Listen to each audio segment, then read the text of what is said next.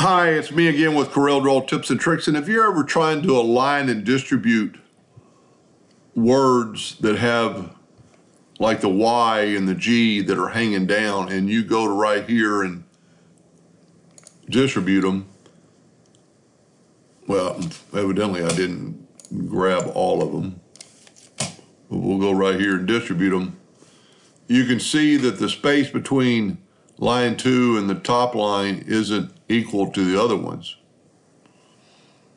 So what you can do, you can grab all of them and go to text, change case, and change to uppercase, and then align and distribute them.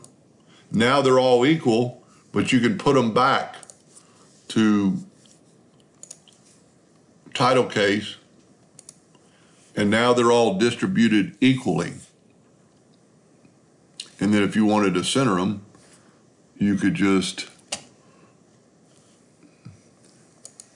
center them like that with line and distribute. You know what? They actually look off now. Let's go back now that they're centered. Let's go to text, change case to uppercase. Let's realign them. There we go. Now go to text, case, uppercase, or title case. And now they're centered and equally spread apart. I hope that helped a little bit. Thank you for watching.